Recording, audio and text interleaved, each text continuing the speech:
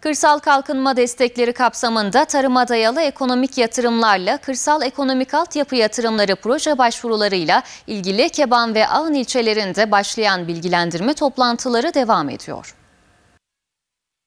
Tarıma dayalı ekonomik yatırımlarla kırsal ekonomik altyapı yatırımları toplantıları sürüyor. Su Ürünleri Araştırma Enstitüsü toplantı salonunda düzenlenen programa Kırsal Kalkınma ve Örgütlenme Şube Müdürü Fuat Kerti, kooperatif ve birlik başkanları, il proje yürütme birimi personeli, muhtarlar ve çiftçiler katıldı. Toplantıda konuşma yapan Kırsal Kalkınma ve Örgütlenme Şube Müdürü Fuat Kerti, ekonomik yatırımlar ve kırsal ekonomik altyapı yatırımları proje başvuruları 30 Ekim 2021 tarihinde başladı. Altyapı yatırımları için başvurular 17 Aralık 2021 tarihinde, ekonomik yatırımların başvuruları ise 21 Ocak 2022 tarihinde sona erecektir. Makine ekipman ihtiyacı olan çiftçilerimiz ve yatırım yapmak isteyen yatırımcılar başvuru tarihleri arasında internet üzerinden başvurularını yapmaları gerektiğini söyledi. Kerti son olarak proje başvurularının ilimize ve çiftçilerimize hayırlı olması temennisinde bulundu. Toplantı İl Proje Yürütme Birimi personelinin hazırladığı bilgilendirme sunumu ile sona erdi.